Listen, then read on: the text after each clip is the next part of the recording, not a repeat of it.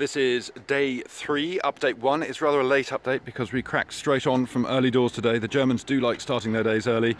Uh, we have spent all day at Flex. It has been blooming awesome. We've been going around machines. We've talked to some very clever engineering people. We got our geek on when it came to lithium, which was a giggle. As you can see in this uh, Kia's leaving, that is uh, our Flex UK man Rich and Ian, our features editor as well, disappearing off to the hotel because they really needed a pint and it was desperate.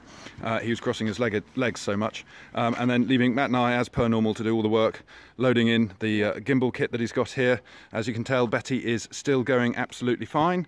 Um, and we are going to be heading back to the hotel um, where we plan to sink the odd pint or two before yes, setting off. Definitely needed. Have you enjoyed today, Matthew? Yes, it's been good, uh, but I'm still learning so much about machines. I don't, I don't need to know. Yeah, I but don't, don't, don't, my brain doesn't take it. no, that is that is true. Um, but anyway, we will set off and we will do another little update soon. We are in the final leg of our adventure. Uh, we had a very early start this morning. Uh, young Matthew met up with some drifting pals, all very trendy people who like to burn tyres and go sideways and, and generally probably get an awful lot of sex. Um, and uh, so he was out drinking and being wild. Now he can just about hold the camera, um, although he's swaying a bit. Um, so since 2 a.m. UK time, I've been hitting the road um, and we've had lots of suicidal Czechoslovakian truck drivers and stuff.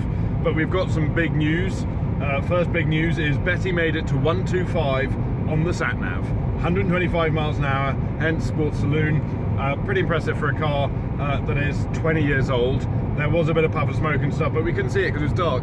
It's the same principle of me taking the uh, engine warning bulb out of the dashboard, therefore we've had no engine warning lights. Um, and we're also just about to hit another milestone.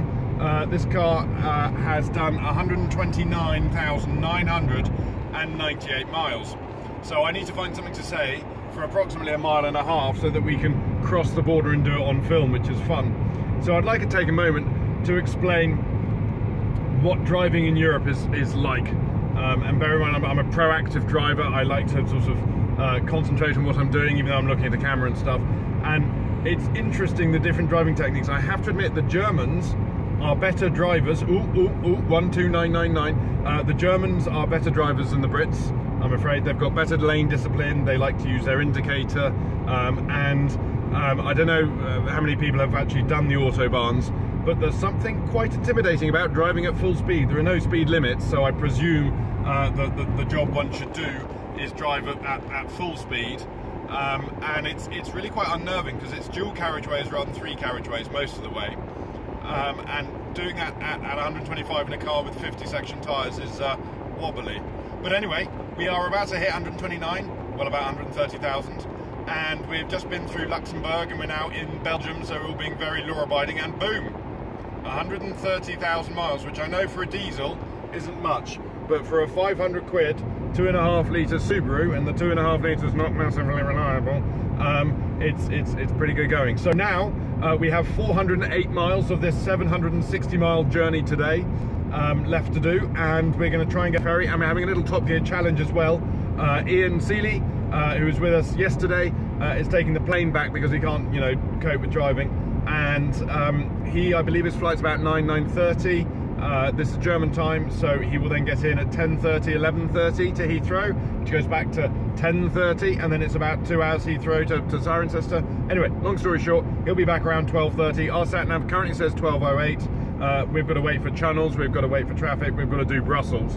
Um, but there is an outside chance we might beat a Boeing 737-400 series in a Subaru, which is really my aim of the day.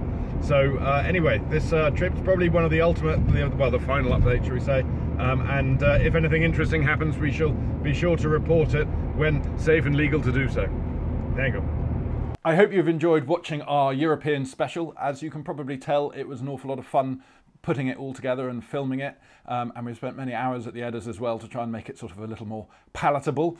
Um, after the last video you saw, we carried on, um, after a little detour accidentally into Luxembourg, we carried on into Brussels and then got stuck for the best part of three hours in traffic with uh, young Matthew driving. Um, and then we hit the channel and uh, we managed to get through immigration smoothly. They didn't do uh, a full body search on Matt, despite my request. Um, but then we got into Kenton and got home in good time. And I bet you're all wondering, or some of you are wondering if you've been listening, um, who won the test between the Boeing 737-400 series and the Subaru Legacy 2.5 litre GX.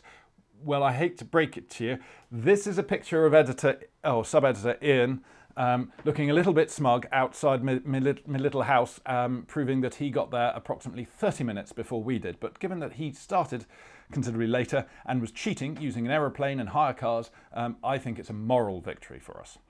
Um, and on that slightly delicate point, um, I'd like to say thank you very much for watching.